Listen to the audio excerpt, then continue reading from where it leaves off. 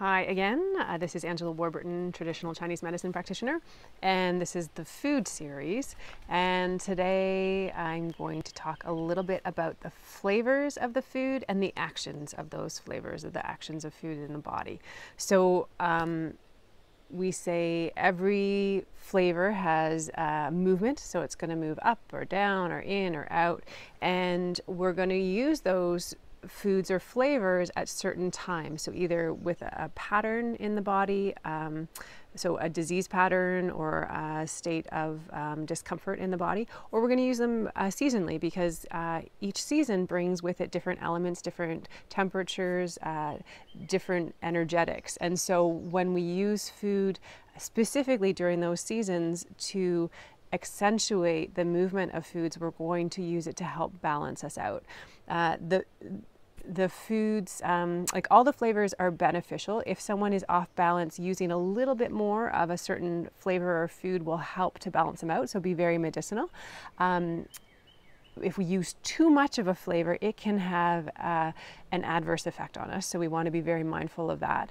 And um, if we want to just sort of maintain health, we can also use a little bit of all the flavors at a meal, and that will help to balance or stimulate all the different organ systems and all the different systems in the body, and that can be really beneficial. A lot of this, um, if you look at traditional cuisines, say for instance Indian food, uh, traditional meal will have the sweet, the salty, the spicy, the sour, or the bitter all in one meal. And that the idea of that is it stimulates each flavor is associated with a different organ in Chinese medicine, but that action will each uh, food or each flavor has a slightly different action in the body and it will just help to stimulate everything and then balance it out so this is when someone's healthy and wants to stay healthy it's a really it's a really great idea to have a little bit of each flavor we tend to be a little bit over um, sweet, salty, uh, and we overuse fat as well in, in uh, our current modern day culture.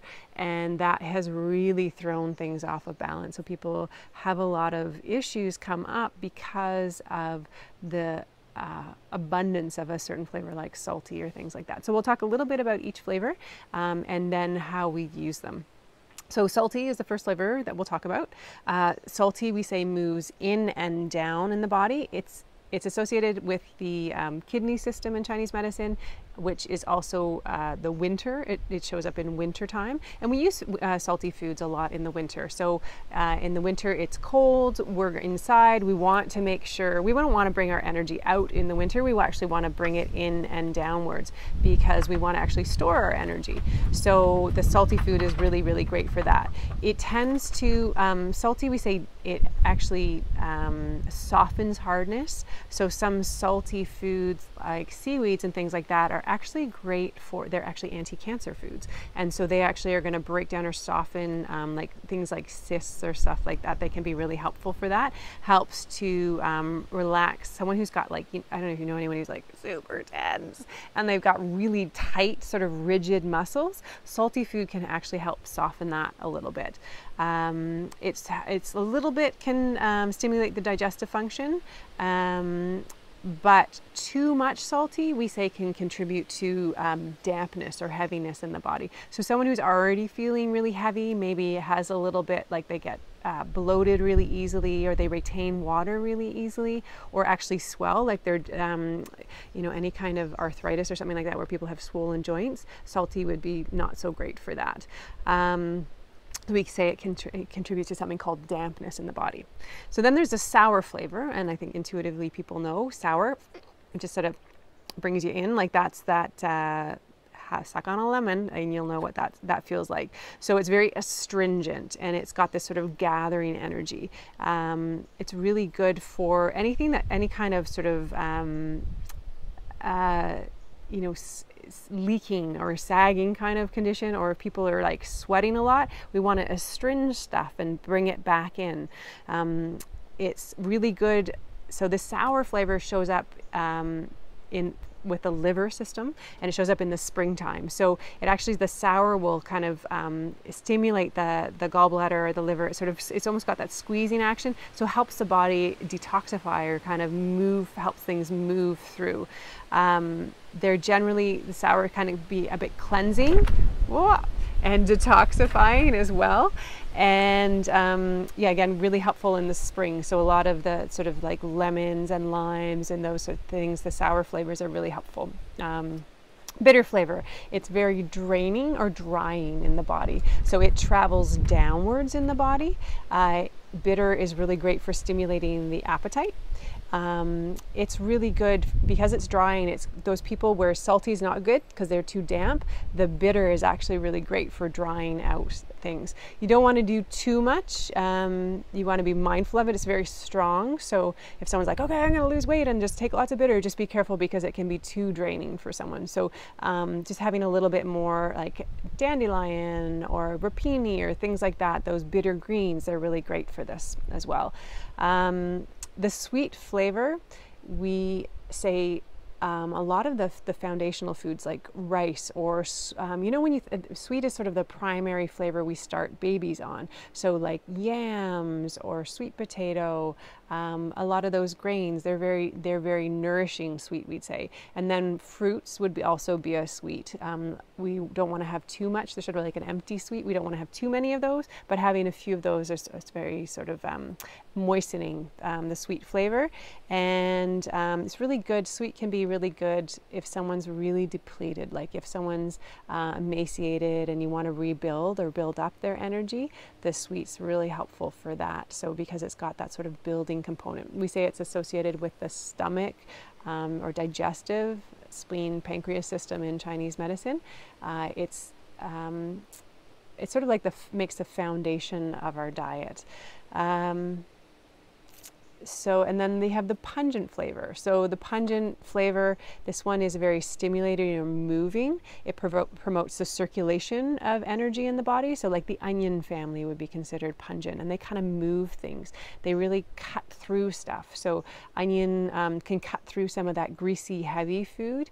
Um, so that pungent will do that. It will also um, move the energy up and out. So if we used pungent hot, which would be like the hot pepper, that's going to move the energy up and out in the body. So, really great for cooling people down if they're in a hot climate and they want to sweat it out. That's where the, the pungent can be really helpful.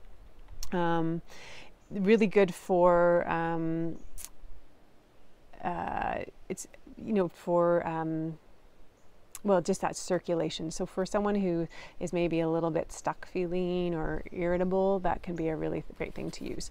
Um, so I'll tell you a little bit more sort of if we were to use these different flavors, so our different um, flavors, but using their different actions. So the upward moving or the downward moving or inward or outward, we'd use them specifically um, in larger amounts if we wanted to balance out a particular um, physical ailment or, or issue. So if we're moving things um, in that you know the outward energy it's promoting the flow of the energy from the inside of the body to the outside so that's if we want to get rid of something so if we want to get rid of extra heat uh, that's when we use pun- these sort of outward moving foods. If we're wanting, you know, to induce a, a, sweat or something for someone who's got a fever, that would be a really good thing to use these outward um, moving ones as well. When we have inward moving, we want to bring things from the outside in. So um, this would be used in the opposite. When you want to move something out, we want to move something in. So we use a, lot of these inward moving foods in the wintertime because we want to conserve our energy. But anyone who's got the opposite, um, where they're sweating too much, maybe they have um, night sweats or um, really they're they're peeing too much even you want to keep things in so you're going to use some of these inward moving foods for that um, then we have the upward moving foods so when you think about balance, Chinese medicine, very much about balance. If you have things that are going down too much, then you want to use the upward moving foods. So that would be something like um, any kind of prolapse in the body, or someone who's got diarrhea. Things are moving out, you just want to hold on to it a little bit longer. Uh, hemorrhoids, anything like that.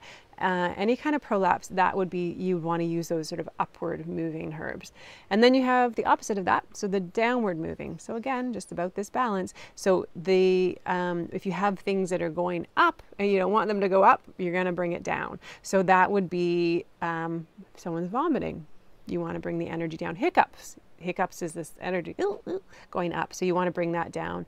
Um, the same with things like that are constipation you want things to kind of get out. So downward moving herbs would be really helpful for that. So some of the downward moving herbs like uh, seeds or that salty energy, that's going to bring the energy down in the body.